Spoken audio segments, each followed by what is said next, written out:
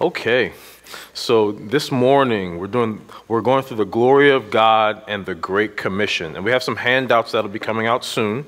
Um, but what, I want to do first is I want let's go to Revelation chapter 22. Revelation chapter 22, verses 1 through 5. And I'm going to be asking for your participation this morning. It's not going to be anything brain draining participation, but I want participation. So I'll be asking you a number of questions, and I just want you to think through these texts with me, um, and let's, let's participate together. So Revelation 22, verses 1 through 5. This is, a, this is part of a larger passage speaking about the coming New Jerusalem. The coming New Jerusalem. And we have this little nugget. I'm going to read it to you. And we're going to look first at what kind of glory language that we see in this text. So let's read here. It says this Then the angel showed me the river of the water of life, bright as crystal, flowing from the throne of God and of the Lamb. Through the middle of the street of the city, I mean, through the middle of the street of the city. Also, on either side of the river, the tree of life, with its twelve kinds of fruit, yielding its fruit each month. The leaves of the tree were for the healing of the nations. No longer will there be anything accursed, but the throne of God and of the Lamb will be in it, and his servants will worship him. They will see his face, and his name will be on their foreheads, and night will be no more. They will need no light of lamp or sun, for the Lord God will be their light, and they will reign forever and ever. Amen. What a beautiful passage. So, so please tell me, someone, or a few of you, tell me, what kind of glory language do you see? Think of the past weeks, the past months. We've been looking at a number of texts. We've been seeing a lot of what I'm going to call in this lesson glory language and a lot of these texts. Um, so, just to wet our whistles a bit, what kind of glory language do we see in this text? Miss Gina. Yeah, river of water of life. Yep. Um, what about that river of the water of life? Oh. Yeah, yeah. Amen. Amen. That's fine. There's a um, there's a there's a glory displayed in the splendor of this place, right? And the splendor and the beauty of it. Um, any any other takers on glory language? Pam. Um, hold on one second, I lost my spot. Um, They need no light nor light of the sun, for the Lord God gives them light. Yes, yes. You see, there's the there's the clear presence of God, the clear presence of God, and um, you see, like we see in many places in the Bible, speaking of God's glory, the light emanating from Him. Um, and uh, this is His clear and real presence in the New Jerusalem that all believers will see and experience. Um, I saw two other hands. We'll take Sarah and then Noel. Is that the two hands I saw? Um, the throne of God and of the Lamb will be in it, and his servants will worship him. So God is seated on his throne, and he is, you know, worshiped. Yes, yes, very good. Um, he's on his throne. Um, uh, you see, you see the glory of his his position and power, um, of his reign and rule. Yeah, uh, Pastor Michael, for, oh, y- y'all fighting over it, Pastor Michael. Yeah, All right, you win. Go ahead. Go ahead. Back from vacation. Um, in verse 4, Yeah. it says, And they shall see his face, and his name shall be on their foreheads. Yes. And we we spent quite some time thinking, you know, through this series, thinking about Exodus chapter 34, Mm-hmm. and how um, when Moses wants to see um, God's glory, he says, "Show me your glory," Yeah. And uh, the, the Lord ref, ref, uh, responds to Moses um, by saying, uh, "My face you shall not see." So there's some type of association with the glory of God and the face of God. And then when God does come and uh, hides Moses in the in the cleft of the rock, um, in kind of answer in, in answer to the the plea, "Show me your glory," the Lord comes and proclaims the the name of the Lord. So there's an association not only with the face of God Yeah. and the glory of God, but also the name of the Lord and the glory of God. Yeah, yeah, the face of God, the name, the fact, even the fact in that little nugget right there that you mentioned, the fact that He is being revealed, right? Like um, He's being shown, like like what you mentioned with Moses, you know. Amen. Um, did you have something, Noel, to add? Okay, same thing. Uh, speaking of the name of God, um, uh, we see uh, we see uh, we see two names, if you will, of God here in, in verse three. It says, "No longer will there be anything accursed, but the throne of God and of the Lamb will be in it, and His servants will worship Him." What what's the significance um, of this right here, of God and of the Lamb? Let's take the lamb first. What's the significance of the word lamb being used here?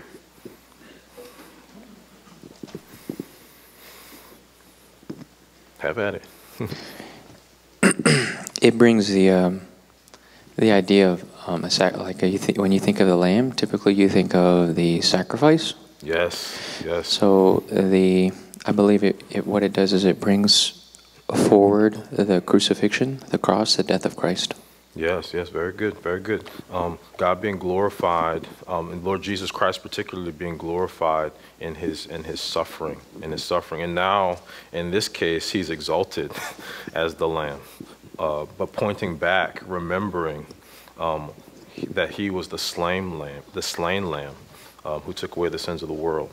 Uh, yeah, amen. The throne of the Lamb, and he. Um, And we see it's the throne of God and of the Lamb. Like he sits, and you know, we say he sits at the right hand of um, the Father, right?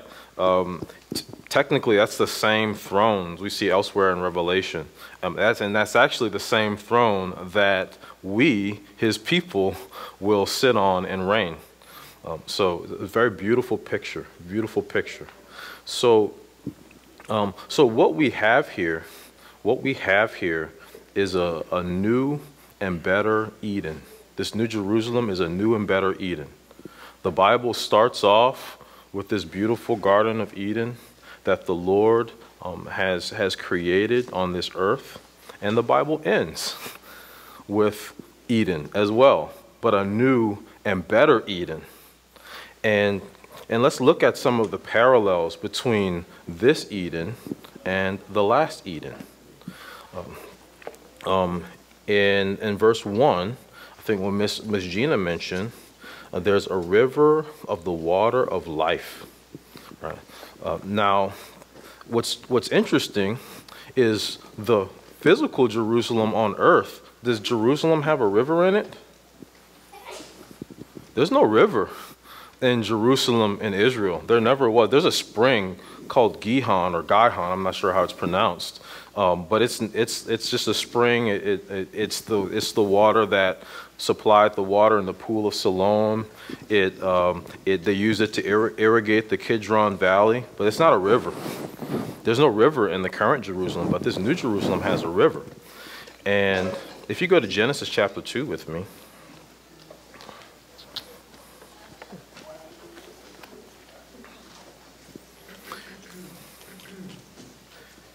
And I'll start at verse 8. It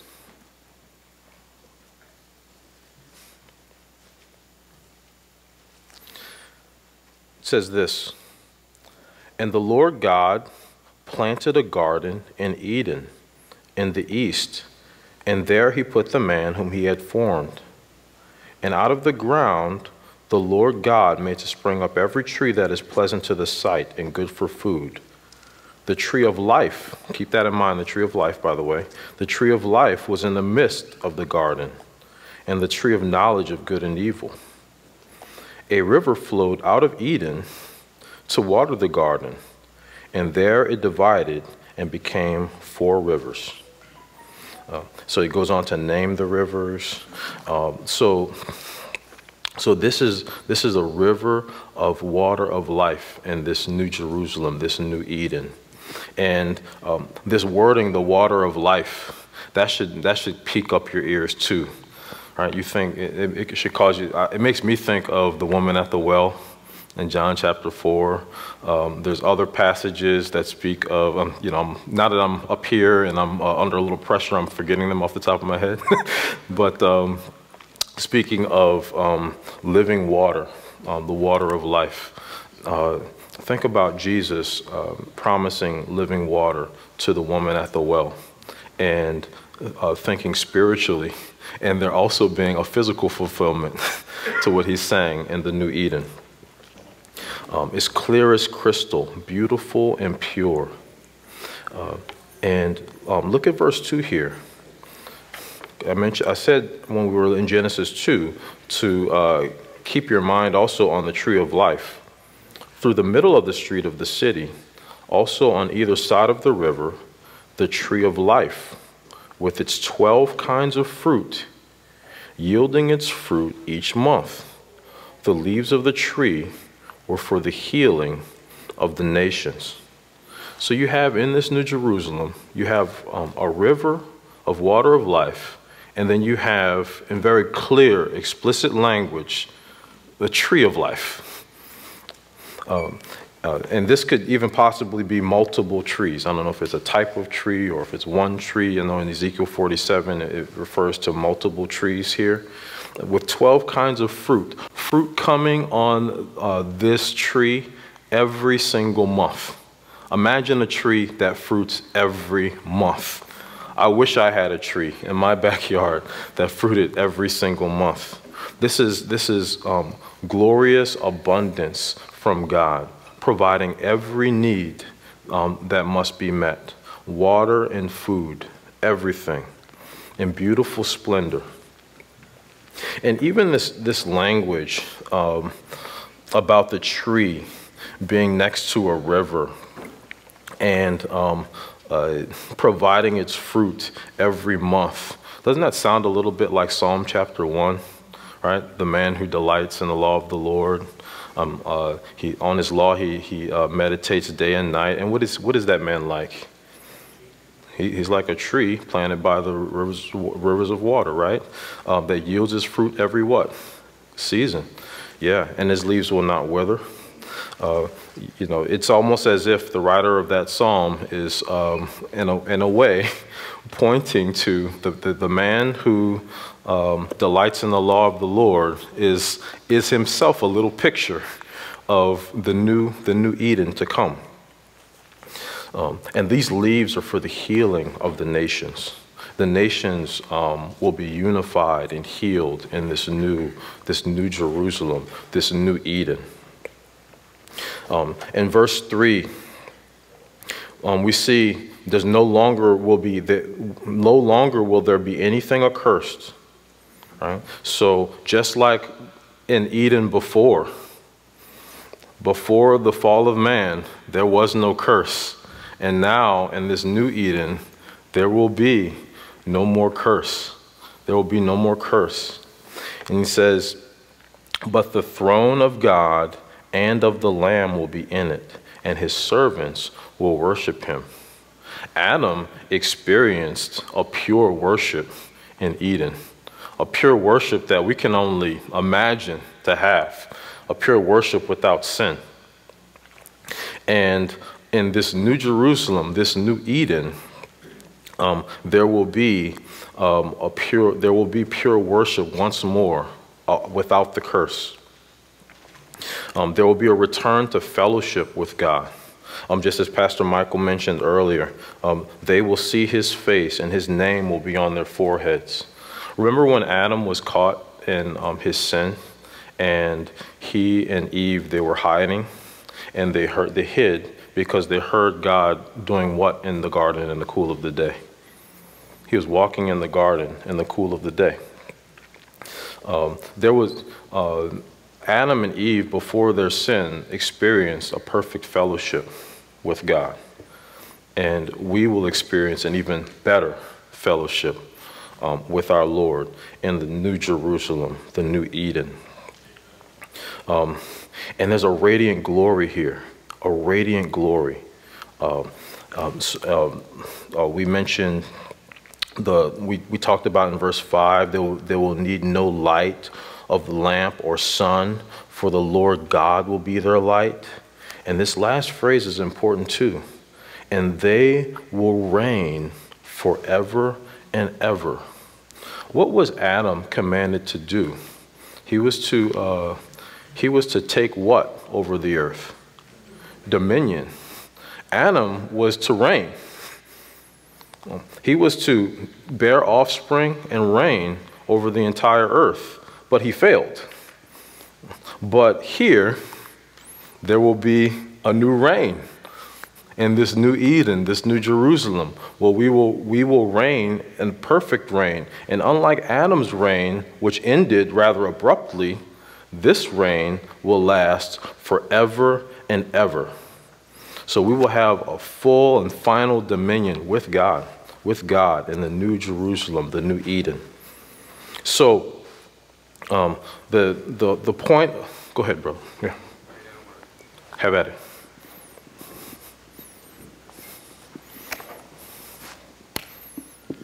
I just wanted to ask a question with um, like that the language of the the street, the river, and the tree. Mm-hmm. You know, like have you had you thought about it? And this is a question. I'm Yeah, asking it's a fine. question. Yeah, yeah. You know, had you thought um, in thinking about the text or um, studying the text, like should we interpret that as figurative language or or literal language or or both, like a like a literal tree and a literal river pointing towards something that's figurative? You know, like had you thought about that? I just I- I'm curious. Yeah. I was wondering what Uh. like what you think about the text. If we should understand that literal or figurative.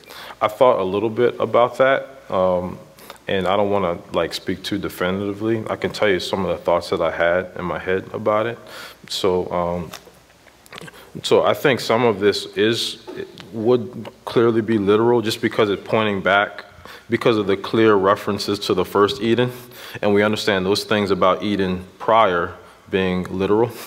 Um, so I think I think it would be safe to read this text and assume that there would be a tree of life, that there would be a river, that this New Jerusalem is an actual tangible place, that there would be a street and a throne, like that we will see these physical, like we will see God's face, you know, we will see the Lamb. Um, at the same time, um, I did think through the fact that like some of this, um, you know, some of these things uh, may point to a greater splendor that we can't describe. And there's other, uh, you know, there's other considerations, like even like further back in this text, speaking of the New Jerusalem and like the measurements of it. Um, I was reading, um, I was reading some Jim Hamilton stuff on like the measurements, and uh, you know, it makes it sound like small, the New Jerusalem, you know. And, uh, and he was talking about how um, some of the, those measurements may not necessarily be exact measurements of the city, but that they could be, um, they could point to, they could really be just showing us that no, this this place is a grand, you know, this is a grand place, you know. Uh, but um, I haven't given like too much thought to really give a clear answer. Yeah, thank you, brother. Uh, brother. Just wanted to make an observation um, as we've been speaking. Um, like in verse 1, it says, Then he showed me a river of the water of life, clear as crystal, coming from the throne of God and of the Lamb. Mhm. And you see that none of this happens apart from the throne of God and the Lamb. So it shows us our union with Christ Mhm. and how he has redeemed us, and all of this comes from him. Um, Yeah, yeah, yeah. All, all of this, you see, um, you see the Lamb as the center of all of this, um, and, um, and you see like the, uh, you also see a really clear dependence too, right, um, upon Him. Like this, um, this is he is the temple of the New Jerusalem, as we see like earlier in passages prior to this. He is the he is the source of all the blessing. He's the source of the light. Um, looks like here he's the source of the the river, you know. So um, this is the Lamb. Uh, the Lamb provides all that is needful here. Amen. Um, so thinking about this, right? The the the purpose, the title of our class today is the glory of God and the Great Commission. And we just looked at Revelation 22, 1 through 5, and we didn't say anything about evangelism. We didn't say anything about going to another country. we didn't say any, we didn't talk about missions proper. What would this have to do with missions? Pastor Michael. the the, um, the reference to to the nations um, in Mm-hmm. in verse two. Yes. In the middle of its street, on either side of the river, was the tree of life, bearing twelve kinds of fruit, yielding the fruit every month, and the leaves of the tree were for the healing of the nations. You know, Yeah. Mm-hmm. you made you made a comment which was very interesting, like because you were talking about, you know, like your first inclination was to interpret those things literal, Mm-hmm. and in, in light of what Braulio had said about the God about the throne of God and the throne of the Lamb, and how Yeah. how God and the Lamb provide everything Yeah. necessary, um, just like a tree Yeah. or a or a river, right? yeah. Um, and so, you know, I think the way that this has, like, what this has to do with missions is that it is it is the Lamb who provides the healings of the healing of the nations, right? The the Yeah. nations that were cursed by the fall, you know, divided by the fall. Um, that and, and really through through missions, through the preaching of the the gospel of the glory of God in the face of Jesus Christ. That that is the that is the means that brings souls from every tribe, nation, and tongue into this Yes. blessed state. Amen. Amen. Yeah, like um, when you think of missions, you have to think of the greater story at play. Like missions is a means to an end. Missions is not the end. You know how sometimes we talk about um, the reason why we're still here is to make disciples, is missions, right? And is that a false statement? No, it's not a false statement. But sometimes we can say a statement like, make a statement like that and think that missions in itself is the end. Like the reason we're here is to make disciples and that's it. No, making disciples points to a greater reality. It points to a it points to the end of the story. The Bible starts with Eden, it ends with Eden. The Bible starts with a marriage, it ends with a marriage. The Bible starts with Adam, it ends with a new and better Adam. You see? And missions it is what brings people, like what Pastor Michael said, it brings people, it brings the nations into this new kingdom. Um, you see what God had, uh, had intended in creation, and you see what happened through the fall, and God, in His wisdom, um, He has ordained for things to be restored. And He's ordained through the Lord Jesus Christ to redeem people back to Himself and to um, bring this people into a, a, a, a new Eden where they will reign with Him forever. So, missions is a means to an end. And then, so when you think of it that way too, right? Um, that heightens your understanding of missions, doesn't it? It makes you think a little differently about it. Um, I like how John Piper um, he puts it. He says the purpose of missions or the end to missions is worship. It's worship. Um, you want to see, um, uh, in the end, you want to see the Lord Jesus Christ worshiped, receiving the reward for his suffering. You want to see God's plan fully and finally come to pass. Um, so, and when you think like that, you end up you end up seeing the movie And you end up realizing that when you're, in, when you're reading the Bible, you're, in, you're inside of the movie screen right now. And you have a script. And this is an awkward movie because you're sort of reading the script as you go along. You're reading the script and seeing how you're to conduct yourself in this movie.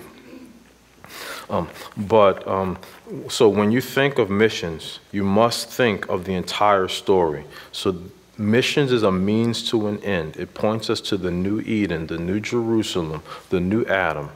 Uh, yeah, Robinson.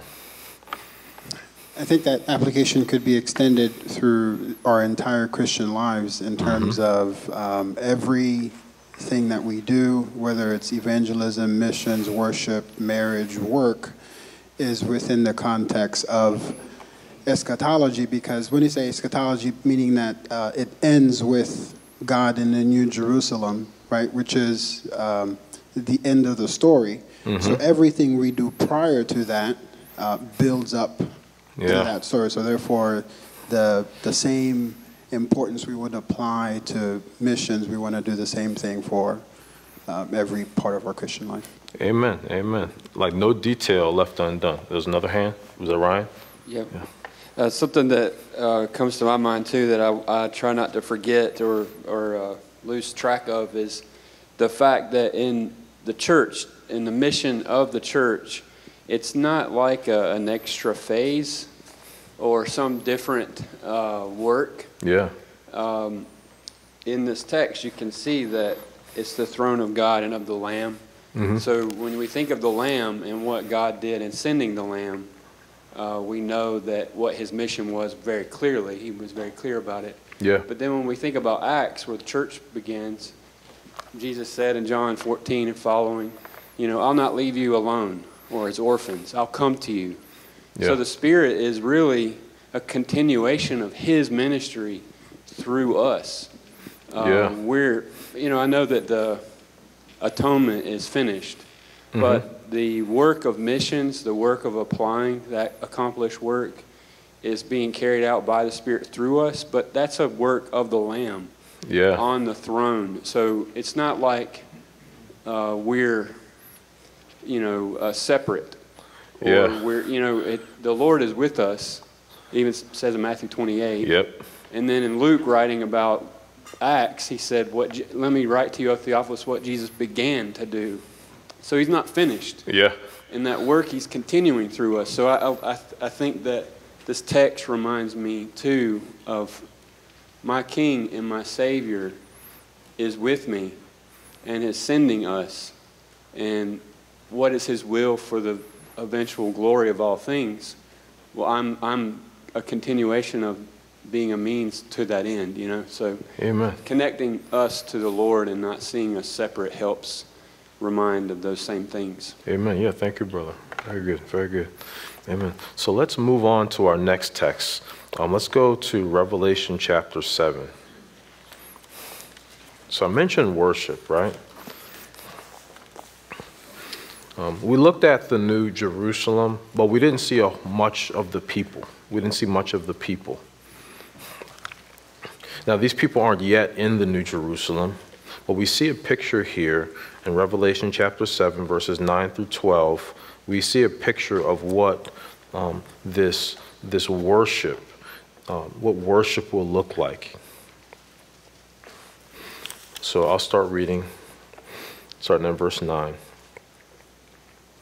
After this I looked, and behold, a great multitude that no one could number from every nation, from all tribes and peoples and languages, standing before the throne and before the Lamb, clothed in white robes and palm branches in their hands, and crying out with a loud voice Salvation belongs to our God, who sits on the throne, and to the Lamb.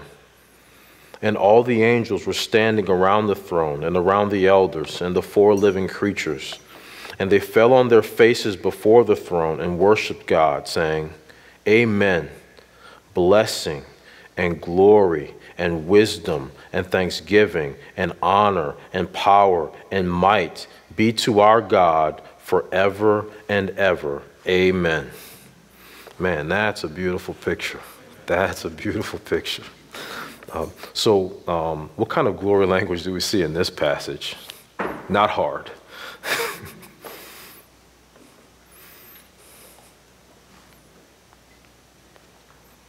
I just said not hard. Come on. Come on now. Pastor Michael. As,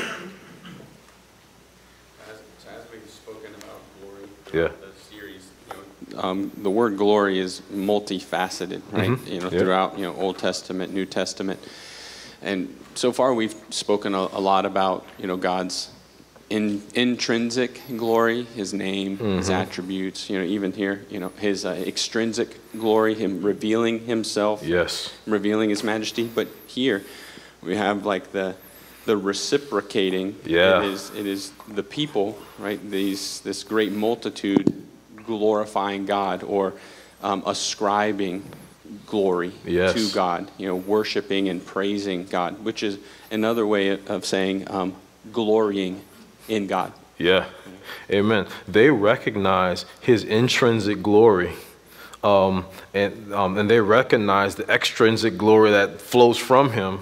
And they, in agreement, say, Yes, Lord, praise your name. You are glorious.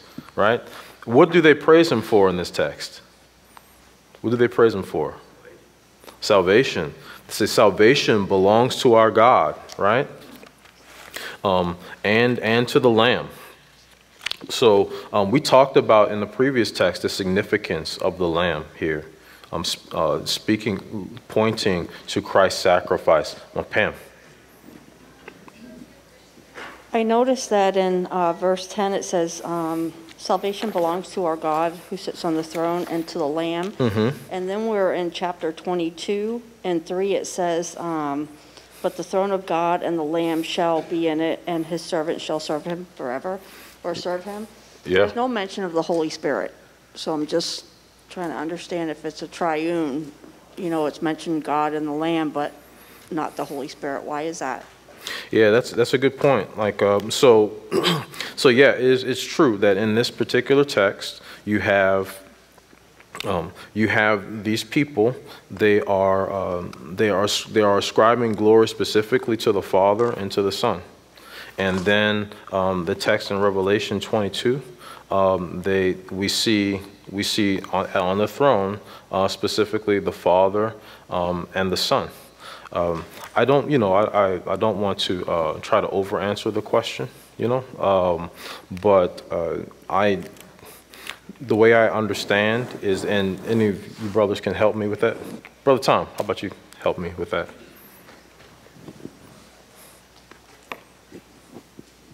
in chapter 4 Mhm. when it introduces the when it um, when john is is brought up to heaven Yeah. And we see the throne room of god. In verse 4 he says around the throne were 24 thrones and on the throne sat 24 elders sitting clothed with white robes and they had crowns of gold on their heads. And in verse 5 it says and from the throne proceeded lightnings, thunderings, and voices. Seven lamps of fire were burning before the throne, which are the seven spirits of God, the sevenfold Spirit of God. Yeah. And so the, the Holy Spirit is not missing from Amen. the throne room of God and, and, the, and the things that are going on in heaven at this time. He is right there in the middle on the throne, Yeah. for the throne. Amen. And, and dwelling his people, and dwelling his people there. Um, I saw a few other hands, uh, Linda, Braulio, Noel. Noel, you have a, a mic already? In, in John 16, and you could read this uh, further, but in verse 14, when Christ is talking to his disciples, the apostles, uh, he says, He, speaking of the, the Spirit of God, He will glorify me, for He will take of what is mine and declare it to you. Mhm. And so uh, it's um, the ministry of the Spirit, as according to Christ here, is that it's not that the Spirit is not glorified, but He really pushes the Son um, Mhm. forward. Yeah. So I think that's a lot of times when you read in the Bible and you don't see the Spirit, you remember that passage. He's um, pointing others, and He emphasizes the Son. Amen. Yeah, And that's probably my primary thought about that as well. Yeah, amen, brother. Thank you. Um, Braulio? Yeah, I was, no, that said it, but I was going to say, um, the Spirit is in God's people, the Holy Spirit is in us, Yeah. and we aren't able to worship Christ apart from the Holy Spirit, uh, the Lord. Um, so just thinking of union with Christ, how Mhm. it's because of the Holy Spirit in us that we're able to say salvation belongs to our God, and we're able to see Him and worship Him. Um, so just thinking of those texts. Yeah, thank you, brother. Was that Linda too? You had a hand? Okay, cool. Praise the Lord. So, um, so yeah, so so thinking here, right, of what's going on, you have a great multitude, innumerable multitude, can't be counted, right? You think this is the this is the offspring of Abraham. Remember the promise God made to Abraham. Look to the stars. Um, as those stars are, so your offspring will be. You see his offspring here, innumerable, innumerable. You can't count them. Every tribe, tongue, and nation worshiping, worshiping the Lord. The Lord. Um, um, and you see them, you see them worshiping in perfect unity, don't you?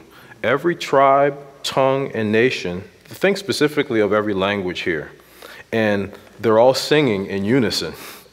So every tribe, tongue, and nation speaking the same language. Um, uh, think of, consider here, um, this is also old, young, rich, and poor. This is, uh, Pastor Mark. I was just going to say that people today are using that text to speak of diversity in the church. And that check- text is not about diversity. Amen. Amen. Yes. Uh, yeah, that is true. Um, especially now, you know, um, all of this nonsense. Um, you have uh, a number of uh, a number of folks uh, talking about critical race theory, um, talking about in, words like using words like intersectionality in the church, using Marxist, um, high-minded terms uh, to to use within the church uh, creating creating special classes of people within the church, and there are no special classes of people in God's church. Um, there's uh, even even even when you think about it, like um, you know, uh, there's no such thing as a black church. There's no such thing as a white church. Even in the New Testament, when churches are um, delineated from one another, they're delineated by location, not according to the color of people's skin. Uh, uh, and, and you know, John here in this text, you, you would think, well, how does he know that this is, are many tribes, tongues, and nations? He just has to take a look. Like they're all speaking one they're all speaking one language obviously here because they're saying these things in unison. In fact, there's like a call and response going on here that you have all the people saying salvation to our God and to the Lamb, and then the angels respond with amen, blessing and honor and glory, right? And they fall on their faces before the Lamb. Beautiful picture. Right? So how does he know these are people of multiple languages? He sees them, just like we can see each of you right?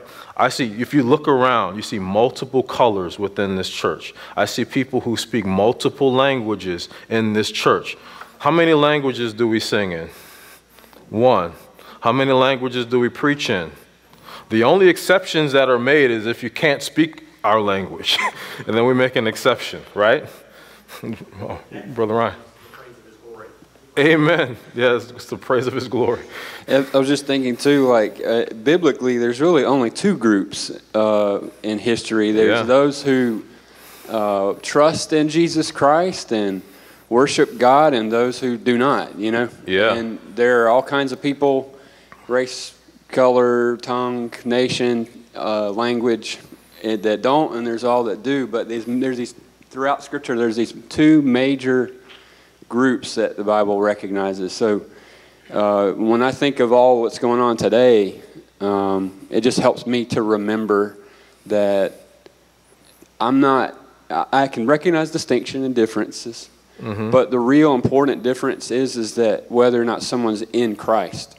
Yes. And that if I know that they're not in Christ, I have c- clear example, instruction, and commands uh, abundance in abundance on how to treat them, what they need to hear, how to love them, um, and not get wrapped up uh, un, in an unhealthy way with uh, distinctions that and, and dividing lines that aren't really biblical. They're just confusing. Yeah, yeah, amen. And um, you know, and, and, thinking about like getting wrapped up in, in those foolish things. Uh, I mean, when you see a picture like this, it causes you um, to put aside um, petty, petty arguments. You know, uh, imagine, in, for Prince, I'll use my, myself as an example. Um, I'm black, if you can't tell. Uh, I didn't grow up. I didn't grow up listening to the kind of music that many of you listen to. Some of you grew up listening to different kinds of music. Some of you went to different churches that sang in a different style than the way we sing here. Is that something to make an issue of when the whole goal in the end is to worship the Lord together in unity? Yeah, it, it ends up being a foolish argument. It ends up being a waste of time, honestly, right? Um, when we, what we should do is get about the work of missions together and seeing this is the goal seeing worship as the goal. Uh, so yeah, just like Pastor Mark said, um, when we when when John sees the the many different kinds of people, the whole point is saying, look at all of these many different kinds of people, and they are no longer many different kinds of people.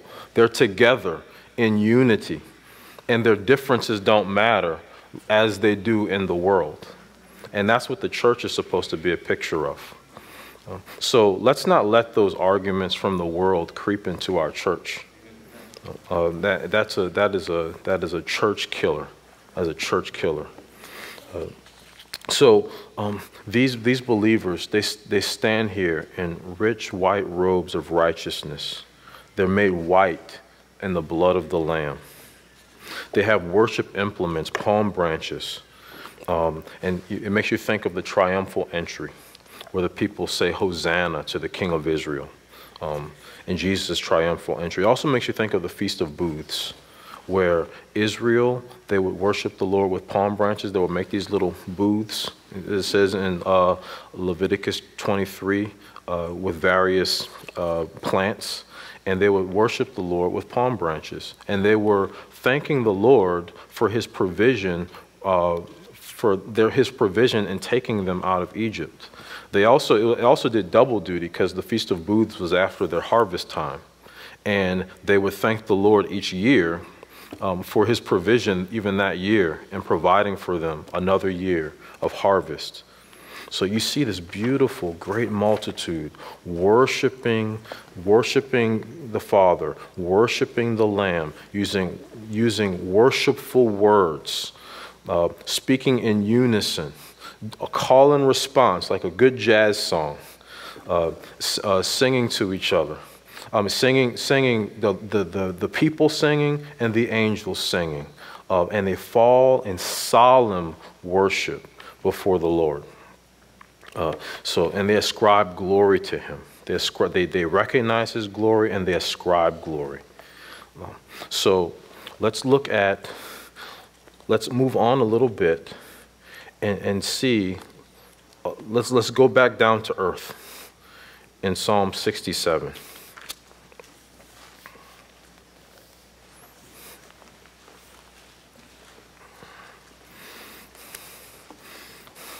And we want to be thinking of we want to be thinking of what thinking of that goal. What should our attitude be? What should our attitude be um, thinking of this wonderful, uh, this wonderful end, this, this new Jerusalem, this new Eden, the innumerable multitude worshiping the Lord. So, starting in verse 1, it says, May God be gracious to us and bless us, and make his face to shine upon us, that your way may be known on earth your saving power among all nations. We'll stop there before we go on. Right? So, um, so the um, you have a prayer here for God to be gracious, gracious to Israel. Um, make his face shine upon them. Um, uh, that his, that's, that's glory language in itself, his face shining upon them. Uh, and that, but for a purpose, that your way, that his way may be known on earth, his saving power among all nations. So it's like saying, Lord, bless us that the nations may be blessed. Lord, may you be glorified in us, that you may be glorified among the nations. Let's keep reading here, starting in verse 3. Let the peoples praise you, O God. Let all the peoples praise you. And this is the, the key verse here, the key little uh, nugget. Let the nations be glad and sing for joy, for you judge the peoples with equity and guide the nations upon the earth. Let the peoples praise you, O God. Let all the peoples praise you. Uh, the heart of someone who sees um, the new Eden in their mind, they see the worship of the innumerable multitude in their mind, is to say, man, let the nations be glad. Um, may the nations be glad in the Lord, for he judges the people with equity and guides the nations on the earth. And we don't see that completely now, right? But one day the Lord Jesus will reign on the earth, and we'll see that.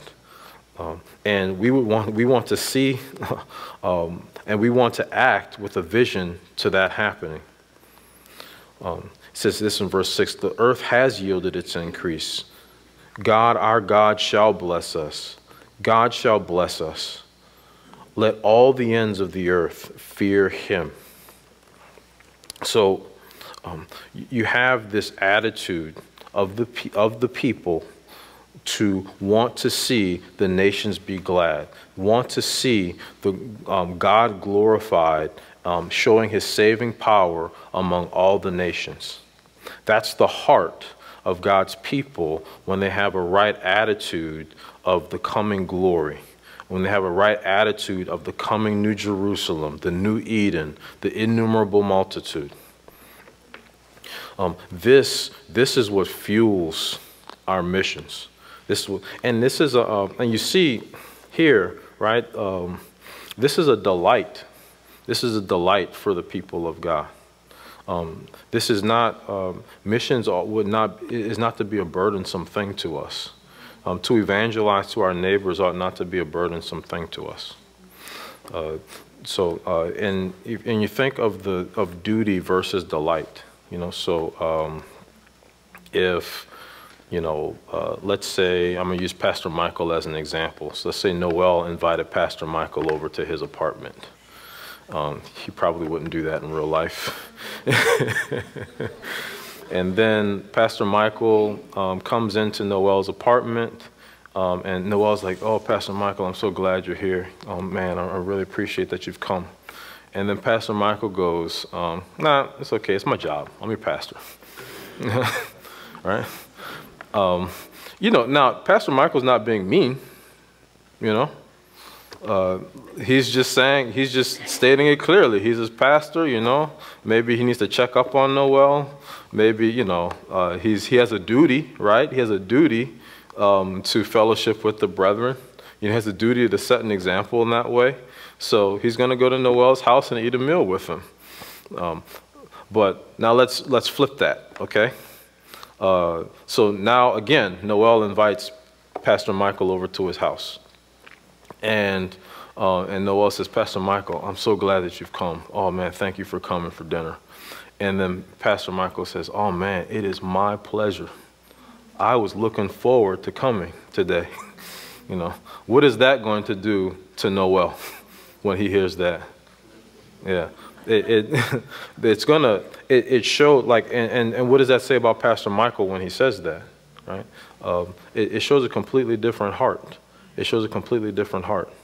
Um, and God, God is glorified when we when we look at the nations and we have this type of heart, we say, man, let the nations be glad.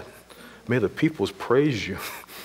Um, we ought to delight in the commands of God. We ought to delight in seeing the story come to an end. We ought to delight in our roles in the story. So now, with the remaining time that we have, let's, let's look at Matthew 28, the Great Commission.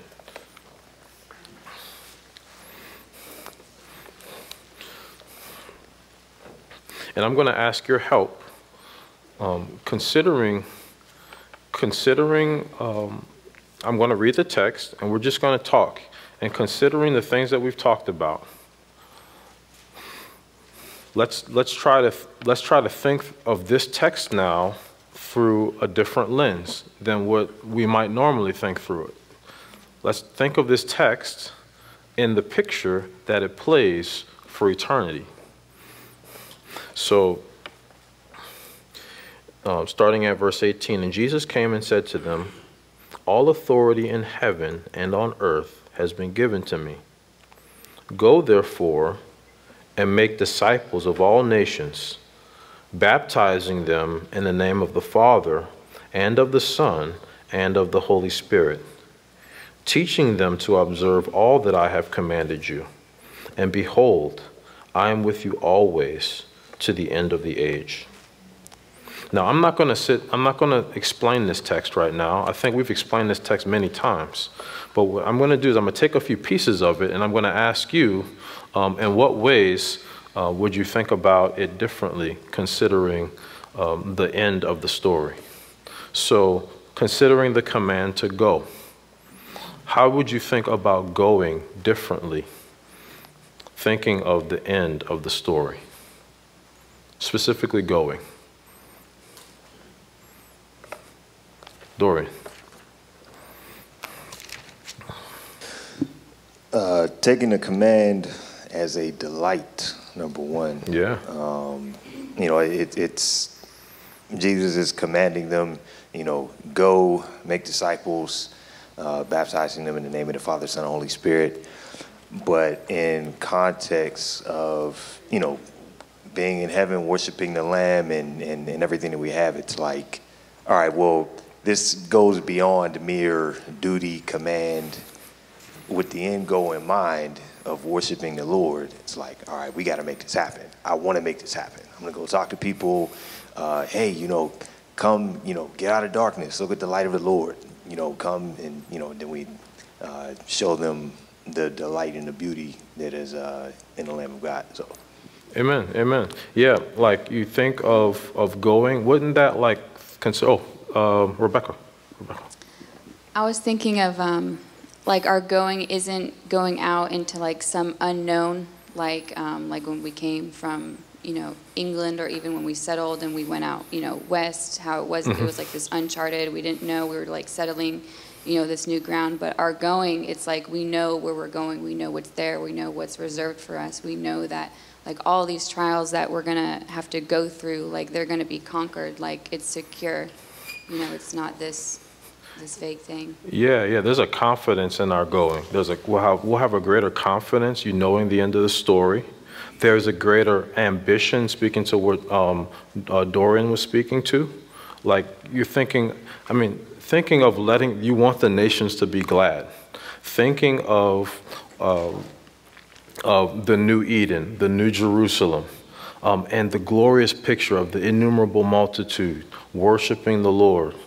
Um, that, that's the type of thing that would make you say to yourself, I want to go as much as I possibly can. Would it not? I want to go with a holy ambition. I want to go, I'm going to be creative in the ways that I can go. If I can't make it at this time, well, what other time can I? Um, I'm going to use every opportunity that I can. Um, so, um, so if you're you're with someone, you think of, um, man, how can I speak to this person? Um, you have opportunities here at the church in corporate evangelism, right? And you say, man, I can I can go corporate evangelism. I can go. I can go with my brothers, encourage my brethren. I can go. Um, maybe you've, you've been a, a Christian for some time and you can take another brother under your wing. What a perfect time to consider going. What a perfect time. Um, so, yeah, you should be strongly encouraged to go corporately. Uh, so, you know, you think about it. Think about um, what a wonderful opportunity that is. And it's a delight, not just a duty. I have a little quote, I have a book here. Um, this little Piper book, Let the Nations Be Glad. And Piper quotes this other missionary in here.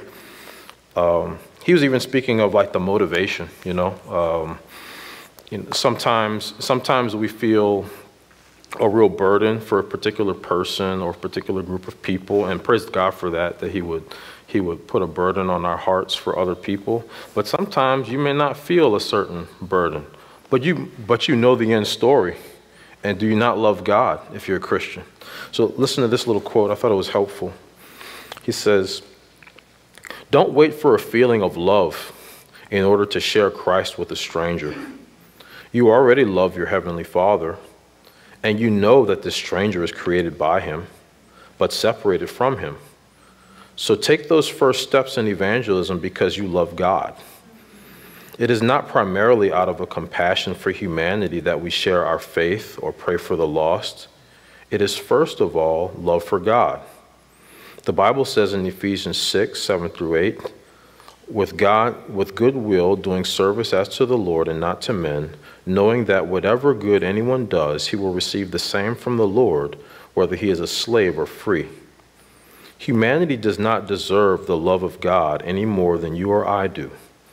We should never be Christian humanists, taking Jesus to poor, sinful people, reducing Jesus to some kind of product that will better their lot. People deserve to be damned, but Jesus, the suffering Lamb of God, deserves the reward of his suffering. So, it, knowing the end of the story, it'll affect the way, um, even your motivation. You don't need to feel like a pit in your heart to evangelize someone. You just have to love God. You have to, you have to know the end of the story.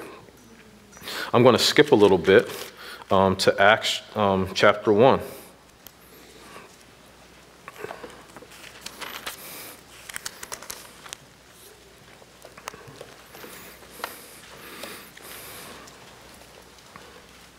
Um, verse 8. This is part of the Great Commission as well. This is before Jesus ascended into heaven. And he says, But you will receive power when the Holy Spirit has come upon you, and you will be my witnesses in Jerusalem and in all Judea and Samaria and to the end of the earth. And you see this, like this is sort of a like a thesis statement for the book of Acts you know, Acts actually follows this pattern. And, and you have all the way up until Stephen's death in chapter 7, they're in Jerusalem and in Judea. Acts, chapter 8, they're in Samaria. And then after that, you can't even keep up. They're, they're going to the ends of the earth. Um, it's city after city after city after city. Um, um, so, uh, so consider um, uh, uh, that pattern. Um, think of think of your duty here first. Uh, uh, think very critically in your mind about what you can do to evangelize to those who are around you, to those who are in your sphere of influence, those in your neighborhood. Um, think uh, around your church. Think corporate evangelism. Uh, and I'm mentioning corporate evangelism very deliberately. Uh, it is one of the best ways to become a good evangelist. It is one of the best ways to be effective in the kingdom of God. Um, so think corporate evangelism. Uh, uh, and, um, but, and think beyond that. Think of your Samaria. Think of those. Samaria wasn't far away from Jerusalem and Judea, it was like right there. Um, but those people were outcast, they were different. So think of those who may be close to you um, who may be unreached in some way. It could be due to language, it could be due to um, religion, something about their culture. Um, what can you do to reach them? Or how can you support others who are able to reach them? Uh, I, I, think in Orlando we have a large group of um, Spanish people who speak Spanish and don't speak English. You know, um, that might be considered a group that might fall into that category. What can you do to help them? Do you speak Spanish? Um, uh, do you know other people who are? Um, and what can you do to help them? Uh, now think to the ends of the earth. right?